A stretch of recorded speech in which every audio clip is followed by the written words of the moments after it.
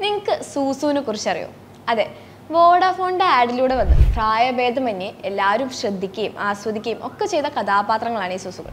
എന്നാൽ നമ്മൾ കരുതിയതുപോലെ ഇവർ ആനിമേറ്റഡ് ക്യാരക്ടേഴ്സ് അല്ല. മറിച്ച് അവ നമ്മളെപ്പോലുള്ള മനുഷ്യർ അത്തരം കോസ്റ്റ്യൂമുകളൊക്കെ ധരിച്ച് സ്ക്രീനിൽ മുന്നിൽ എത്തുന്നതായിരുന്നു. സൂസുവിനെ കുറിച്ചുള്ള കൂടുതൽ കാര്യങ്ങളാണ് ഇന്ന് നമ്മൾ സംസാരിക്കാൻ പോകുന്നത്.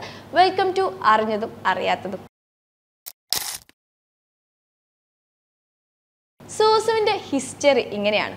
വോഡാഫോൺ പരസ്യങ്ങൾ കൈകാര്യം ചെയ്യുന്ന ഏജൻസി ആയിട്ടുള്ള ഒഗിൽവി ആൻഡ് മാത്തറിനോട് ഐ പി എൽ സീസൺ ടൂവിൽ ഓരോ ദിവസവും സംപ്രേഷണം ചെയ്യാവുന്ന മുപ്പത് പരസ്യങ്ങളുടെ ഒരു പരമ്പര സൃഷ്ടിക്കാൻ വോഡാഫോൺ ആവശ്യപ്പെടുകയാണ്. Ogilvy and മാത്തറിന്റെ national creative director Rajeev Rao ആണ് സൂസു എന്ന കഥാപാത്രങ്ങളെ സൃഷ്ടിക്കുന്നത്. അതിനു മുമ്പേ വോഡാഫോൺ വോഡാഫോൺ പട്ടി അതായത് പഗ്ഡോക്സിനെ ഉപയോഗിച്ചിറക്കിയ പരസ്യവും ഇദ്ദേഹത്തിന്റെ തന്നെ ഐഡിയ ആയിരുന്നു. അങ്ങനെ രാജീവ് റാവു പറഞ്ഞതനുസരിച്ച് യഥാർത്ഥ ആളുകളെ കഴിയുന്നത്ര ആനിമേറ്റഡ് ചെയ്താക്കാൻ വേണ്ടിയിട്ട് കേപ്പ് ടൗൺ ആസ്ഥാനമാക്കിയുള്ള പ്രൊഡക്ഷൻ ഹൗസായ പ്ലാറ്റിപ്പസ് പ്രൊഡക്ഷൻസ് വഴി ദക്ഷിണാഫ്രിക്കയിലെ കേപ്പ് ടൗണിൽ ഈ പരസ്യങ്ങൾ ചിത്രീകരിക്കാൻ വേണ്ടിയിട്ട് ഇവർ തീരുമാനിച്ചു. ഇതിനായിട്ട് ബാംഗ്ലൂർ ആസ്ഥാനമാക്കിയുള്ള നിർവാണ ഫിലിംസിനെയാണ് നിയമിച്ചിരുന്നത്. വെളുത്ത തുണി കൊണ്ട് പൊതിഞ്ഞ ചെറിയ ശരീരമുള്ള മെലിഞ്ഞ സ്ത്രീകളാണ് സൂസുകൾ. ഓരോ മുഖഭാവവും റബ്ബർ പൈപ്പുകൾ കൊണ്ടാണ് നിർമ്മിച്ചിട്ടുണ്ടായിരുന്നത്. ചിത്രീകരണത്തിലുള്ള സമയവും ചെലവും കുറയ്ക്കുന്നതിനായിട്ടാണ് അഭിനേതാക്കളിൽ ഇത്തരം മുഖഭാവങ്ങൾ ഒട്ടിച്ചിരുന്നത്. കഥാപാത്രങ്ങൾ മൂവ് ചെയ്യുമ്പോഴൊക്കെ ചുളിവുകളില്ലെന്ന് ഉറപ്പാക്കാൻ ബോഡി സ്യൂട്ടുകൾക്കായി ശരിയായ മെറ്റീരിയൽ തിരഞ്ഞെടുക്കുകയും കുറഞ്ഞ ടൈം മാത്രം ഫൂട്ടേജ് ഷൂട്ട് ചെയ്യുകയൊക്കെയാണ് ചെയ്തിട്ടുണ്ടായിരുന്നത്.